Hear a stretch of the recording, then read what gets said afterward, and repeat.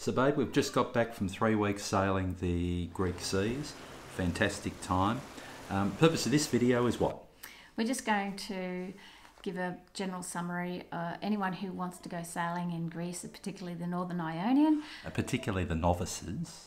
so we just want to give you more information uh, so you can be more prepared than we were. Some of the stuff that we didn't know that we wish someone had told us before we went. That's right. Maybe we should have done more research on YouTube before we left. Mm, we're at Greece. We're on a boat. I'm up in the roof.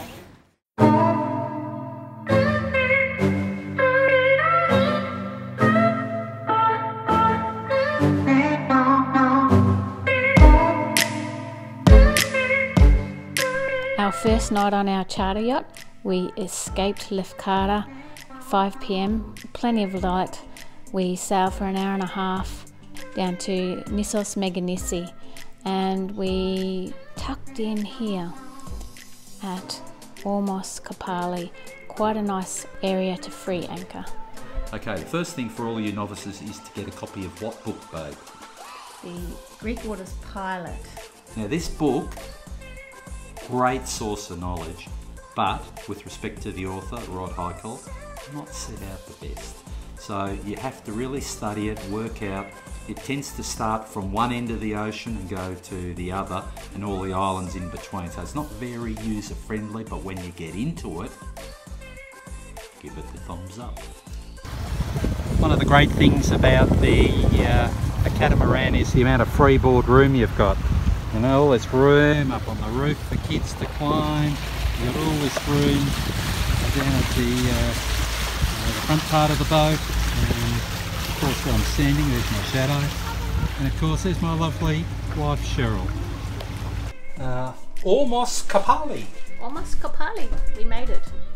We've anchored, and there's only two other yachts. When we turned up, there were four other yachts and two left. We must have scared them off with my anchoring technique. Pretty scary. 60 bucks. Ripped off. And now that we'll sail forever. So, babe, um, in Australia, in some places, six metre tides. Uh, what's your findings about tides in Greece?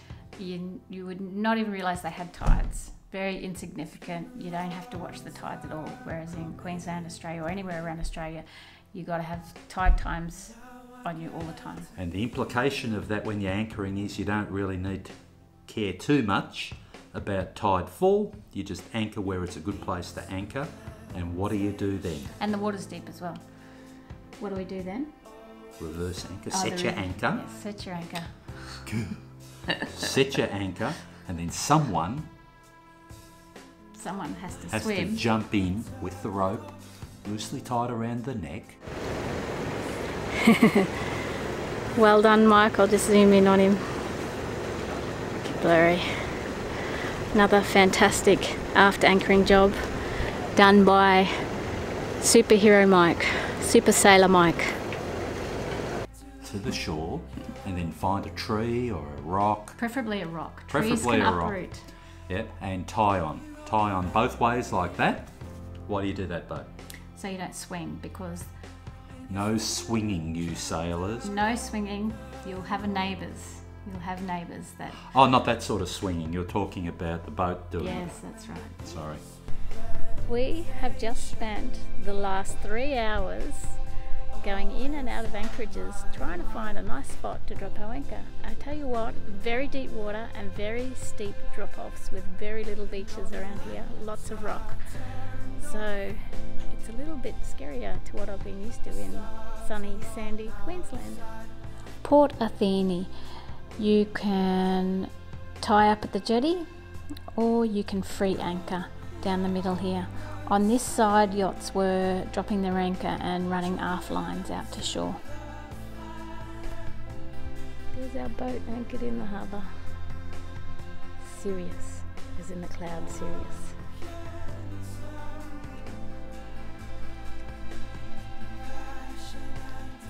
So, babe, we went sailing in September. Mental blank because I'm back on land. The whole When's, month of September, yeah. Okay. Tell us about the weather in the Northern Ionian. Very predictable. Um, Bloody hot, hot, still humid. not a lot of sailing happening The wind blows in the afternoon. in the afternoon. 2 p.m. the wind blows. The wind's picked up and it's changed direction. Instead of from the northwest, it's now coming from the southwest. So where we were for lunch, the anchorage got really, really rocky. So we've turned around and we've gone back to Port Leone where we know we're going to be safe tonight.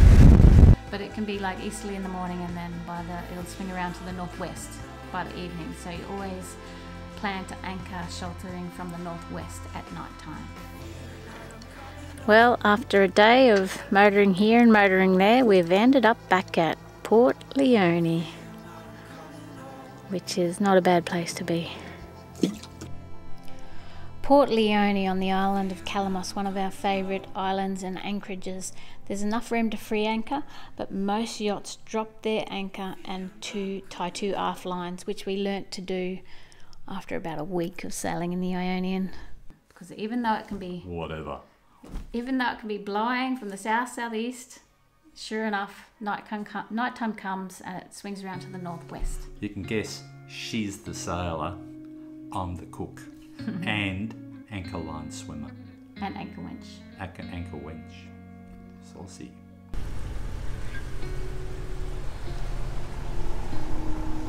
You know, uh, I've been wondering why uh, it's so hazy in the distance, and I did a bit of research on Google, and it's to do with the very high incidence of eucalyptus trees here in uh, Greece. And just like in Australia in the Blue Mountains, when the heat's up, uh, the eucalypts give off vapour, and uh, that causes this, misty look that you see. But uh, what spectacular uh, scenery. Currently, uh, we are in 133 metres of water, so what's that? Roughly 500 feet. I'd feel perfectly safe in going, jumping off the edge of the boat uh, and going for a swim. Of course, that is if the boat's not moving. So, babe, uh, in Australia, we're used to all sorts of weather apps, BOM, and all of these sorts of things. You call up the Coast Guard and get a weather report. What's your experience here? Black, calm, beautiful blue water.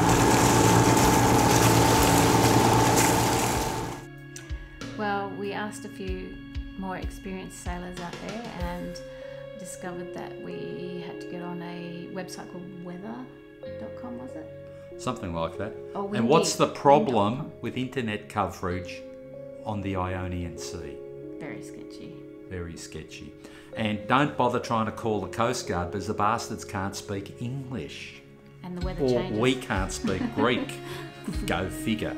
So you can't get a damn weather forecast. But as Cheryl said, you know, the weather's pretty stable, but it's nice to know whether you're going to be able to go for a sail tomorrow or not.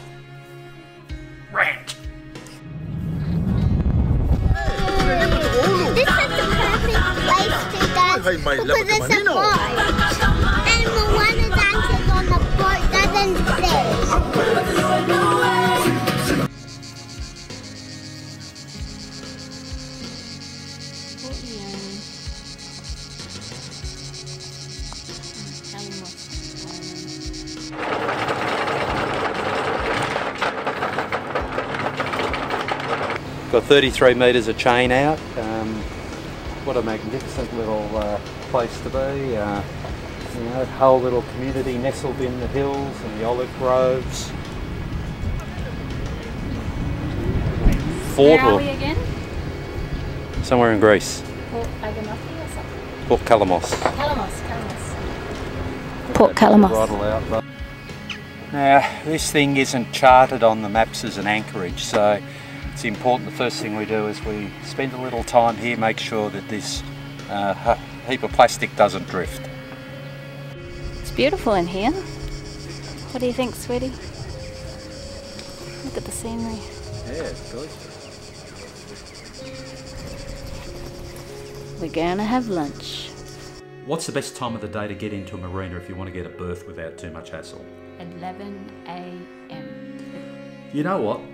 People in Greece, as the sun is almost set and there's the last bit of light, they decide, oh, we're going to go find an anchorage. And of course, then they anchor somewhere, which is totally inappropriate. In the middle of the night, you hear the anchor chain go up, and then you hear panic noises, and you see torches and flashlights going off in the middle of the night. Get in early, get the best spot, get yourself a nice lunch, stock up, do your do your washing, have a nice early tea, have some some red wine, you know, some saganaki. There's a misconception that uh, you know the Mediterranean is fished out. Um, what's your experience? We saw plenty of fish. We didn't actually go fishing ourselves, but we saw. Why? Because we were under the misconception there weren't many fish. And we didn't come prepared. But, But we once- saw mahi mahi getting caught off the jetty. Off a guy with a hand line catching mahi mahi that were seriously a metre long Wow. off a jetty Bit of an with a hand line catching mahi mahi. There's plenty of fish.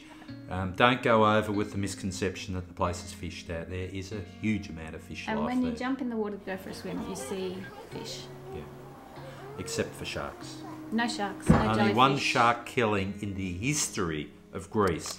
Now, those of you that are students of the world know that Greece was founded how long ago, Bo? I don't know. I'm not a student as well. 3,000 years ago. One shark killing. There's nothing, Beat that, Australia. nothing dangerous in the water. We're so used to having all these dangers in our water in Australia. But Apart from sea urchins. oh, sea urchins. Don't stand on a sea urchin, very painful. Here's a quick boat tour. Down the stairs on the starboard side at the aft, we've got Sienna's bedroom. Sienna and Mummy's bedroom. And if we spin around to the forward, to the bow of the boat, we've got another bedroom. Mike's bedroom. Bathroom on the starboard side. Shower. Mirror. Me. Hi. Toilet. Electric pump toilet. Into holding tanks. Looking back up at the saloon area. It's quite a nice big large space on this lagoon.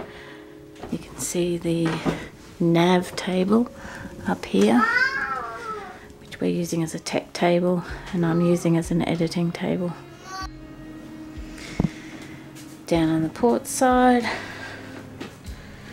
port bow, there's a double bunk which we're not using. We're spinning around. Aft double bunk. There's our luggage. And we've got a bathroom on this side as well. Same as the other side, mirror image, shower, toilet, although we've been showering on the deck. Galley. Here's my galley. Back deck, plenty of room.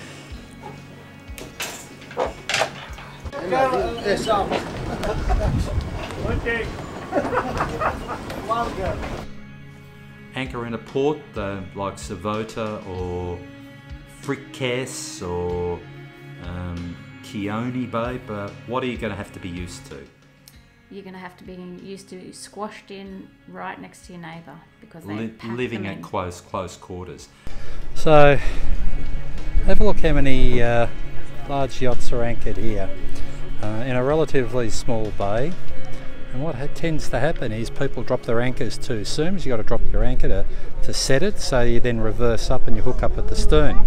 Um, we've just been watching a comedy of errors where um, a monohull has dragged this cat right off uh, its existing anchorage and now he's trying to re anchor. And if you um, are tied up to a jetty or the side of a breakwater and you've got three metres, some bastard is going to try and squeeze in and will squeeze in and will scrape the side of your boat. So Fenders be, out. Fenders out, be prepared.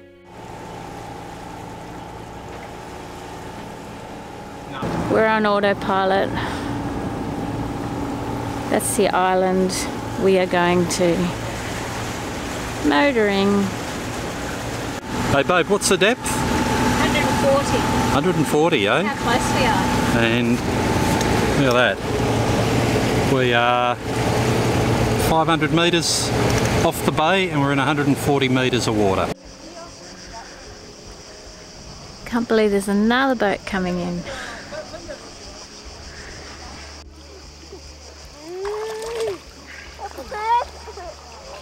Hello, where's your anchor? And our anchor is directly under Zephyrus, right beside us there. That's where our anchor is. I can't believe how many boats are squashed into this tiny little anchorage. You would never see this in Australia. Right, well, babe, um, one of the things that's often overlooked when people go overseas is camera and technology. Um, what sort of stuff would you recommend people yachting to capture their memories want to take? Well, the drone was amazing. we got some incredible footage with the drone. We could have probably used it a lot more than we did, but we were scared of a splash. So we could have Practice using a drone before you go. Next point, GoPro. make sure it works before you go because we had problems and trying to resolve a GoPro problem on a chat line with GoPro when you're in the middle of nowhere, very hard. So GoPro, three. Good sound and a good, Good sound. tripod. Rode microphone, we recommend that. With a the good cat tail, with the cat tail over it. Dead cat tail. That car, about 40 bucks, really worth it. Um, uh, don't be afraid to use your iPhone, fantastic. We're shooting this on the iPhone now. Um, and last but not least, mini digital SLR Oh yeah, mini digital SLR with good sound. with good sound. And of course, that you use your microphone that you got for your iPhone, which we're shooting on now, for that. Babe, um, sailing the Ionian Sea in one word, how would you describe it? Awesome. I was expecting more than one word. you said one word. we had a fantastic time. It's a beautiful part of the world. Um, just so much to see, to do, the history of the place. You know, you'll stumble along on, all old relics, you'll meet interesting people, you'll see things, you'll go swimming in, in gin coloured water or gin colourless water. Um, and the weather, just amazing. Um, the food, you know, I lost three kilos sailing, and I was I was bloody eating like a horse because the Mediterranean diet is so healthy. So get your ass on a boat, get over to Greece. Greece and the Ionian Sea.